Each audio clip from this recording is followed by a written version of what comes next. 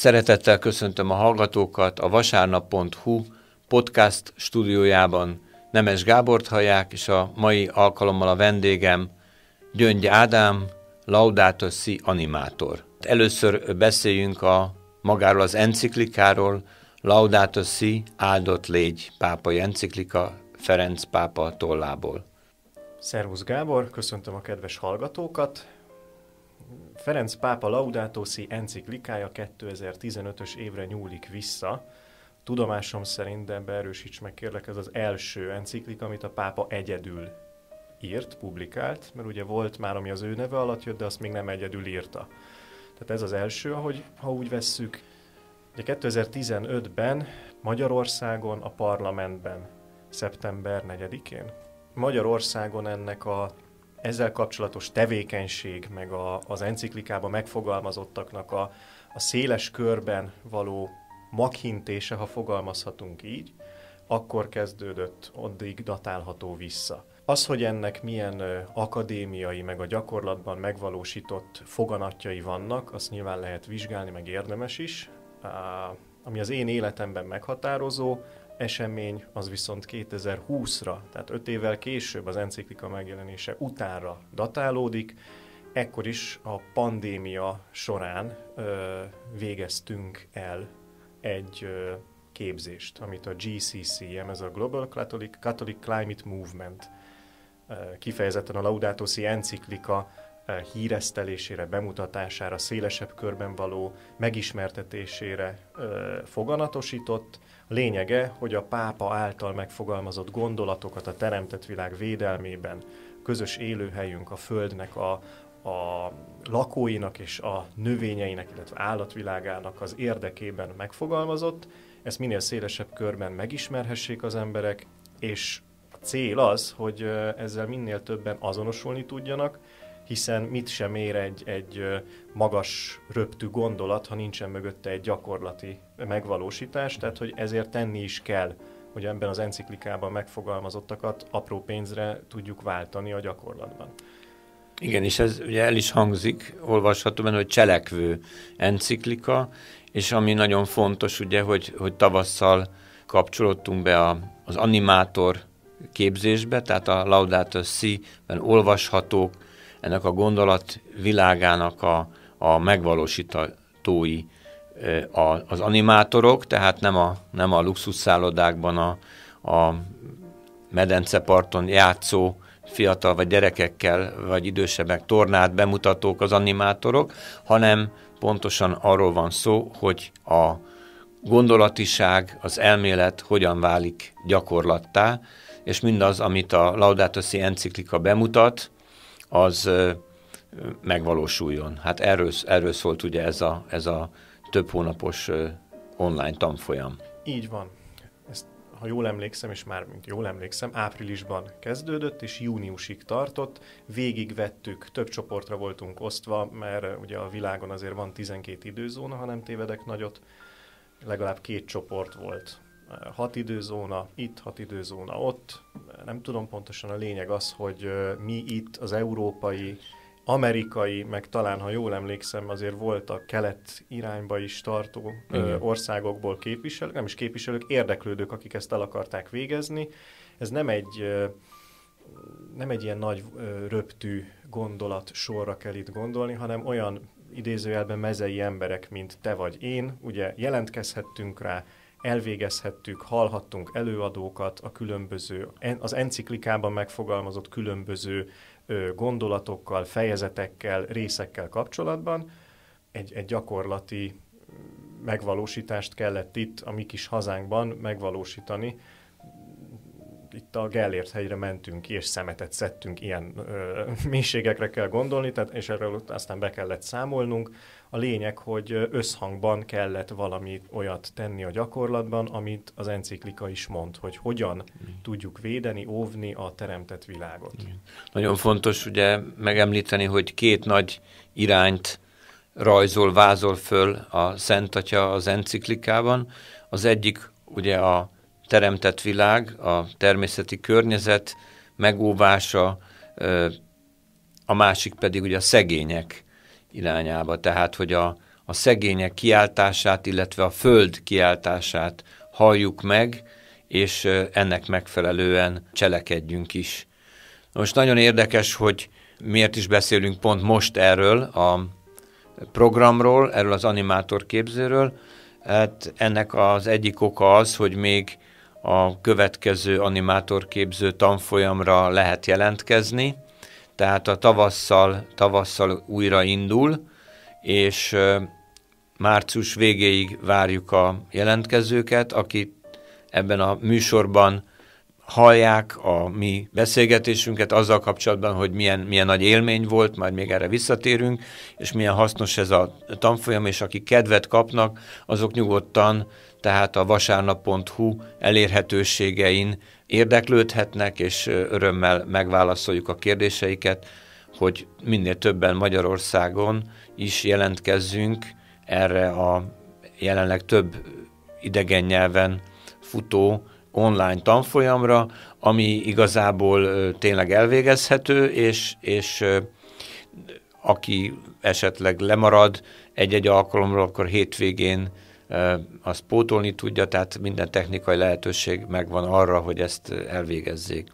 Mégis, hogyha ha azt kérdeznénk, hogy a, a te szemléletedben milyen befolyással volt ez, a, ez az animátorképzés, vagy miben, miben segített. Ugye öt év elmúlt az enciklika bemutatása után, és igazából te is most csúcsosodott ki az érdeklődésed. Ugye a bemutatón ott voltál a parlamentben, de mi az, ami, ami magaddal vittél egy-két dolog ebből a animátorképző tanfolyamról? Ugye itt elhangzott egy kulcsmondat, hogy azért eltelt öt év, mégis ennyi ideig tartott, amíg egy kicsit bennem személy szerint jobban megfogalmazódott egy vágy, hogy ez iránt érdeklődjek, az az, hogy talán azért felnő ennyi idő alatt az ember. A 2015-ben sem voltam éppen gyerek, de ér, értek annyit a gondolataim, azt gondolom, ez 2020-ra megfogalmazódott bennem, hogy ahogy élünk, és ahogy, ahogy szerintem a, a társadalom döntő többsége él, az fenntarthatatlan. Ugye van is egy olyan kérdés, hogy fenntartható-e a fenntarthatatlanság, egy kedves gondolatsor ez, mélyre menő beszélgetéseket lehetne erről folytatni, de az, hogy ez minket a való világban mennyire érint, arról ez, a, arról ez az enciklika azért nagyon-nagyon súlyosan rávilágított. Tehát a pápa már nagyon jól látta 2015-ben, nyilván nem csak a saját gondolatai, hanem a világban tapasztalható problémák, helyzetek, nem kell itt nagyon messzire menni, lehet itt a migrációs kérdésre ö, asszociálni, lehet a klímaváltozásra, lehet a népesség túlnövekedésre, és az ezzel kapcsolatos élelmiszer, meg tiszta víznek a kérdése. Tehát, hogy ezek mind-mind olyan dolgok, amik, amik egy idő után már nem, nem gondolati tényezők, hanem az ember a saját bőrén fogja érezni, ha már nem érzi, hogy milyen akut problémákat is okoz. Az, ahogy most élünk. Valóban fenntarthatatlan. És ez, a, ez az animátor képző, ez engem ebben segített, hogy nem csak akadémiai szinten gondolkodtunk róla, hanem egy csapatnak a részesé, részesévé válhatunk ezáltal, akik szeretnének azért tenni, hogy ne csak beszéljünk ilyen dolgokról, Nyilván ez is fontos, hogy tisztában legyünk ezekkel a helyzetekkel, de gyakorlatban cselekedni kell. Ha én ugyanúgy folytatom egy ilyen animátorképző elvégzése után az életemet, mint öt évvel ezelőtt, akkor, akkor mit sem ér az, hogy most az ember animátor vagy nem.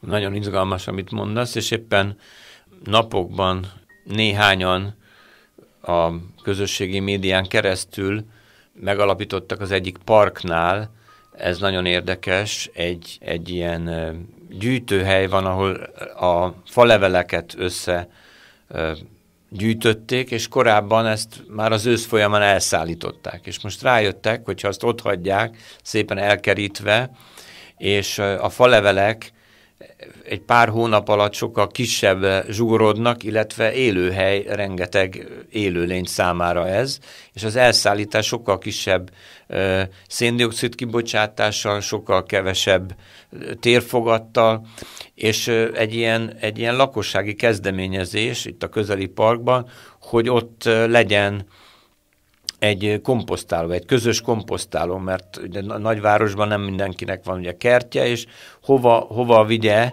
hova viszi jelenleg a, mondjuk a hagymának a helyét, vagy a répát, ha megpucolja. És itt a, a környékben ez reméljük, hogy egy, egy, egy lehetőség lesz. Hát hogyha most megnézzük, azért sokan nem tudják, de nagyon sok mindent lehet ugye szelektíven gyűjteni, tehát például a, a háztartási fáradt olajat is ugye lehet vinni bizonyos benzinkutakba, nem csak a, a papírt, meg, meg az üveget és sorolhatnám, hanem vannak új dolgok, úgyhogy, úgyhogy ezek már konkrét lépések, ahogy mondtad pont a gyakorlat, gyakorlati lépések, és erre újra és újra a Ferenc pápa felhívja a figyelmet, és ugye azzal kezdte az elején, hogy, hogy ez egy önálló enciklika, egyrészt igen, teljes mértékig, így van, másrészt egy óriási nagy csapatot, nemzetközi csapatot vont be ebbe a munkába, és az sem véletlen, hogy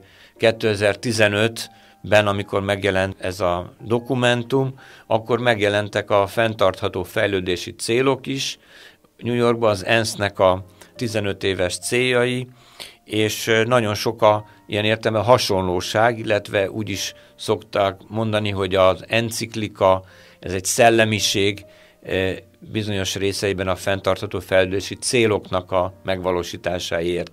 Tehát egy ilyen eszmei kapcsolódás van. Itt nem csak a, a egyházi dokumentumokat ismerő vagy, vagy hívő embereknek a, a bekapcsolódására számítunk, hanem ugye a, az SDG-k, a fenntartató fejlődési célok nyomán, hát ez mindenki erre, minden jó akaratú ember meghívást kap. Azért is nagyon fontos szerintem, amit most mondtál, tehát hogy ez felekezeteken feletti téma, mert tehát hiába van, nem tudom én, katolikus, református, hindu, muszlim, most csak sorolhatnánk tényleg, tehát nem akarom itt felsorolni ateista. Egy ö, földön élünk, egy bolygón élünk, ez mindannyiunknak a közös otthona, felekezettől függetlenül, meg politikai nézettől függetlenül ugyanannyira felelősek vagyunk azért, hogy ezen a világon minél tovább élhessünk, és részemről egy befejező mondat, amit nagyon ö, szeretek ezzel kapcsolatban mondani, hogy ugye mi a Földet unokáinktól kaptuk kölcsön.